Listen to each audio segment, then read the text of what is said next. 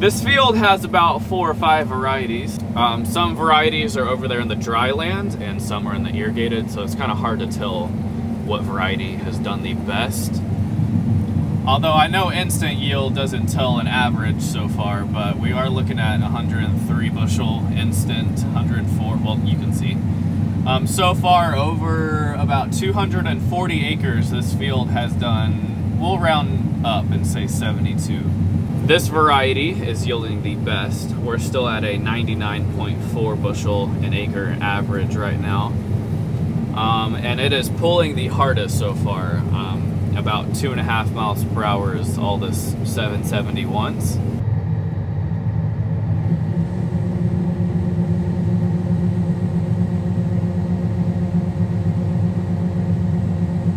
So you can see so far, I mean, it is only over three and a half acres. It's averaging 100, which I know that's not very impressive. I'd much rather see 100 bushel average over 200 acres or something like that to be impressed. I'm not really impressed over three and a half acres. Anyone can do that.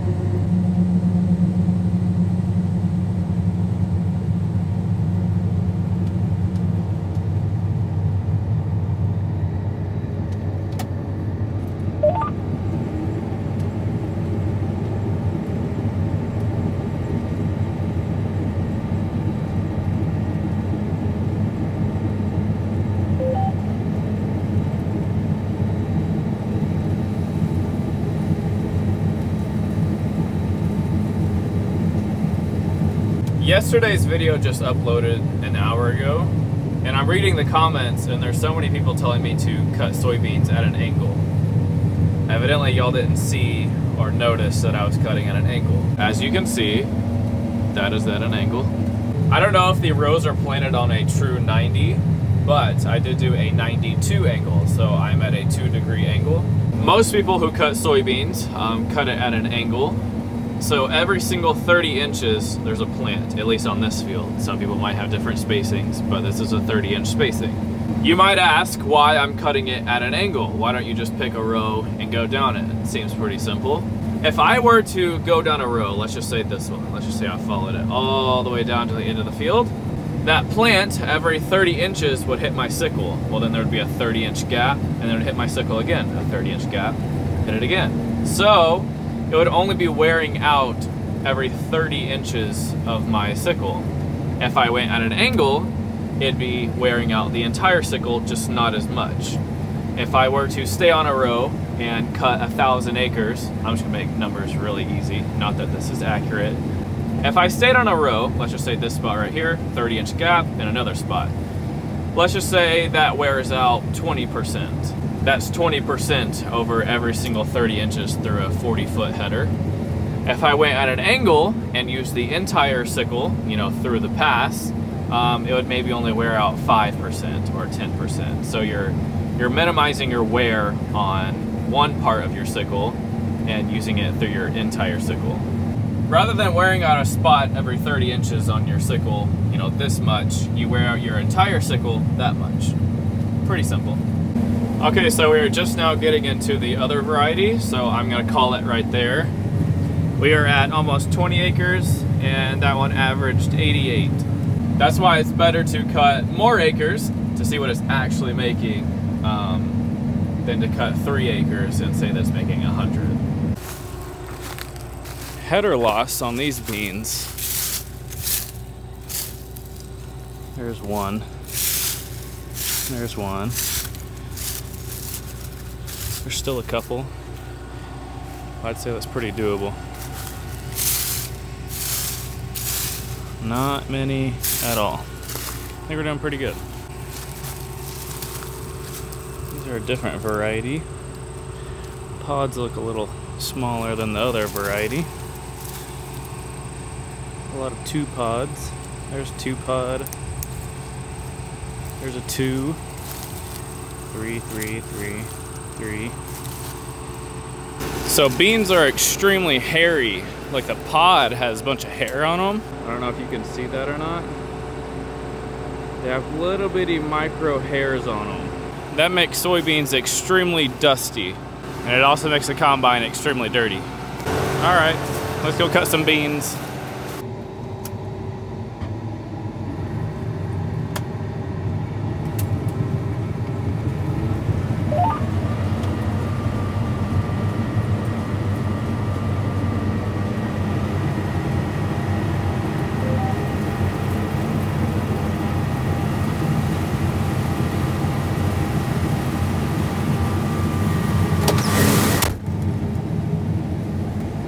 Was open.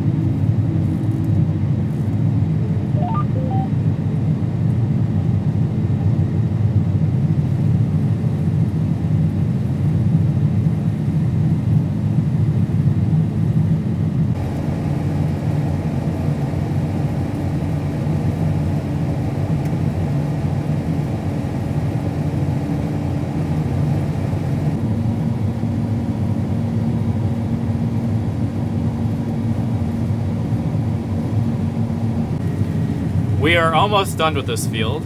Um, I only have two passes left, and that should be it.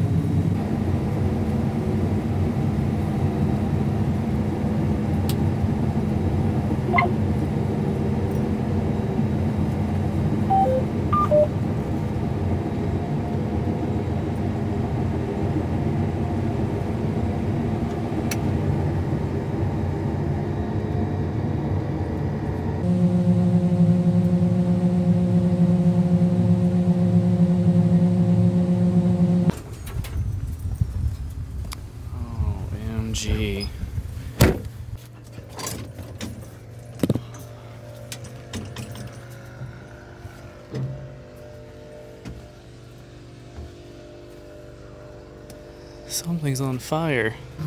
I mean, I'm on fire all the way up under here. That's on fire. I don't understand. There's DEF leaking. That's definitely DEF. I mean, it burnt hoses all up in here. That's all burning up in there. That's all burning up in there. That's burning. Not that much room.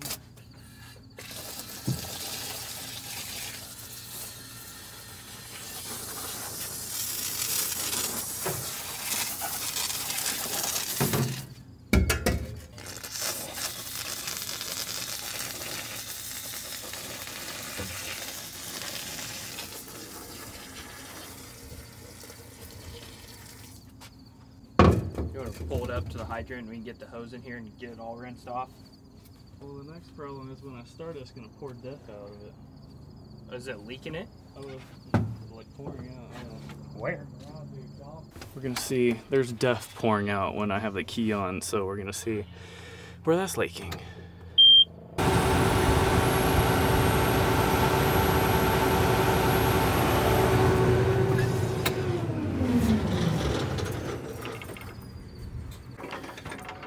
Okay, so it's been a little bit. I totally emptied that. We're gonna have to refill that tonight or something, because evidently we're gonna need it. So I blew this combine off last night. Evidently, you need to blow the combine off two times a day. Um, I mean, look at the, look at this fine powder. I mean, that is super staticky. Um, and evidently, going against the DEF system, where it is extremely hot, is very flammable. But we did get the fire out and burned one def line. John Deere is going to come out tomorrow morning and see what they need for that. I guarantee you they are not going to have that line though. Um, we're going to pull Tim's pickup around here that has an air compressor because a leaf blower is not going to get as clean as I want to get it. Okay. Okay, just letting you know. Bye. All right, bye. Okay, never mind. So there's a John Deere mechanic on his way home right now that's going to swing by and see what they need. All I know is they need that def line, but John Deere's eyes are way better than mine. John Deere has made it really handy dandy to have a lot of hang spots. For instance, this cover right here, right under it, is completely hollow. Why is that hollow? I have no idea. This whole plate is full of trash. Um, this whole plate right here is full of trash. Because, I mean, they have a hole right here just so dirt can get in there and get down under there. I, I don't know, dude. It's just frustrating, you know?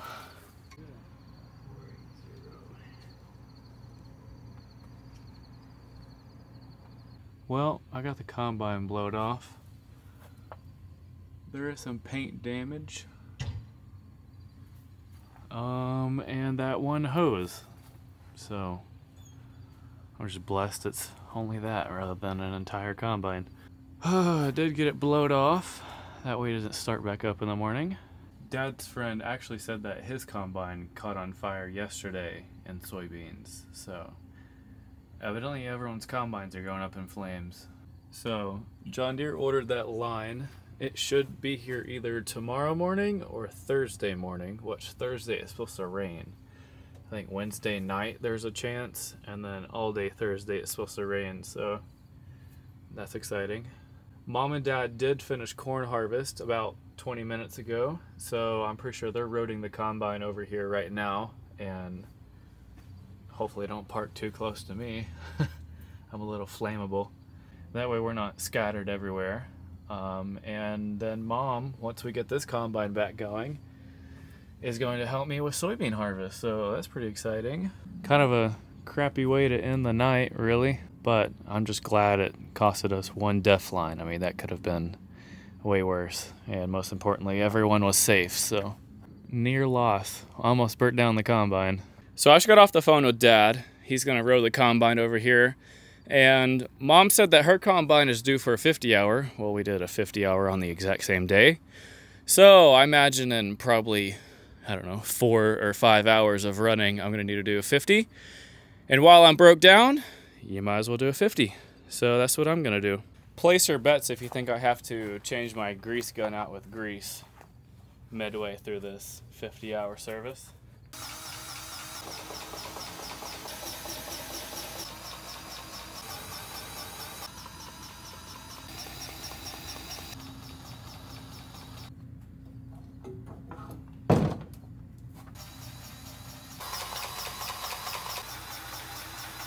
Okay, 50 hour service is done.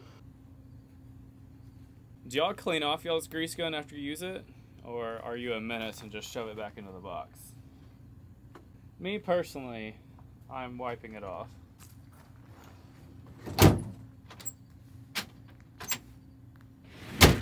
So, one thing that I learned today, even if you blow off your combine at night, it can still catch on fire from chaff tomorrow which I don't know if it was static or if it was just the DEF system getting hot. Um, it could be both.